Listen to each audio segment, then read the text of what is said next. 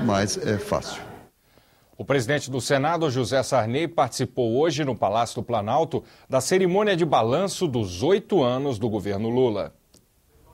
A cerimônia para 800 convidados reuniu ministros, ex-ministros e funcionários do governo. Para um salão nobre lotado, o governador da Bahia e ex-ministro do Trabalho, Jacques Wagner, anunciou o registro em cartório do balanço dos oito anos do governo Lula.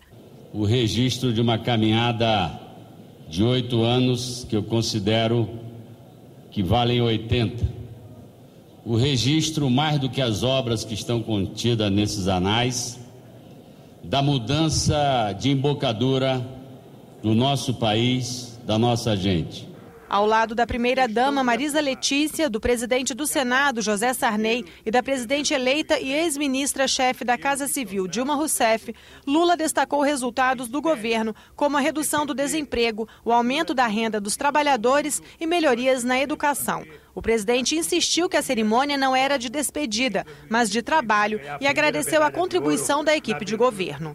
Estamos fazendo aquilo que é uma obrigação de todo servidor público eleito democraticamente, prestar contas das suas ações a quem legitimamente delega o poder de governar ao povo brasileiro. Companheiros e companheiras, eu quero, do fundo do coração, agradecer cada um de vocês.